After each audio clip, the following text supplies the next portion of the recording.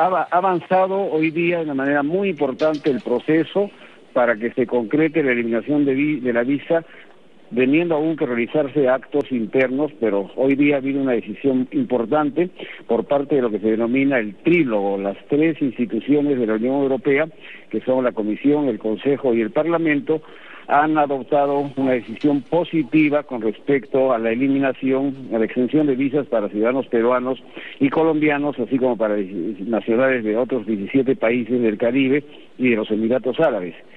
Esa decisión, que es eh, positiva, que continúe el trámite positivo, debe ser mañana refrendada por lo que se llama el Consejo de Representantes Permanentes ante la Comisión de la Unión, ante el Consejo de la Unión Europea, que se va a reunir mañana y luego que va a ratificar esa medida y luego tiene que pasar a fin de mes a la votación, a la aprobación por el Parlamento Europeo que también se va a producir, porque ya se pronunció anteriormente.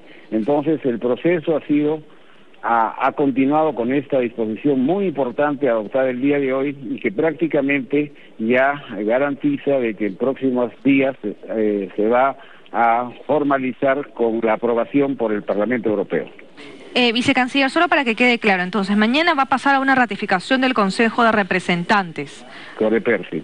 Y al fin, y a fin de mes todavía falta, faltaría la votación del Parlamento Europeo.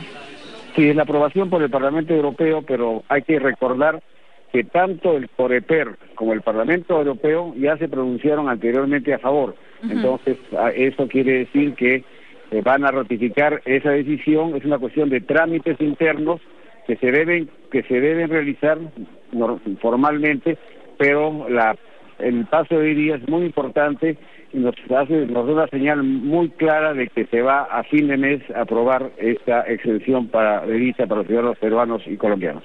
Entonces podemos decir que lo más difícil ya fue superado y que mañana nada más habría una ratificación y como ya usted lo comentaba, el Parlamento Europeo se ha mostrado a favor de eliminar esta visa, entonces tendríamos que mostrarnos optimistas.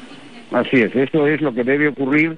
Obviamente corresponderá a ellos reunirse, pero eso es lo que debe ocurrir porque ya se han pronunciado anteriormente y esta decisión de hoy día es una ratificación muy importante porque ha sido por, eh, realizada por los tres eh, organizaciones de la, de, la, de la Unión Europea, la Comisión, el, Congreso, el Consejo y el Parlamento. Vicecanciller, ¿tenemos ya una fecha para esta reunión del Parlamento Europeo? No, es eh, la única fecha que tenemos actualmente es la última semana del presente mes. No, ellos ya fijarán su fecha eh, de acuerdo a su programación, a su calendario, ¿no? Pero es en la última semana del presente mes.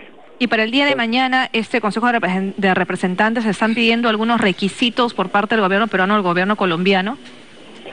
Eh, bueno, ya ha habido reuniones informativas, se ha proporcionado la información anteriormente que ha permitido sustentar la, este, pues, eh, la exención de la visa y la, este, eh, los argumentos que demuestran que los ciudadanos peruanos y colombianos no necesitan pedir visa porque hay, pues, este, una serie de razones de carácter, este, que tienen que ver con las garantías de sus viajes.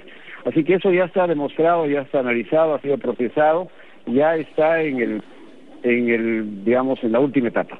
Muy bien, muchas gracias vicecanciller por esa comunicación y por ayudarnos a entender un poco lo que está pasando. Se viene avanzando entonces de manera positiva para que se pueda eliminar esa visa Schengen para poder ingresar a los países de la Unión Europea.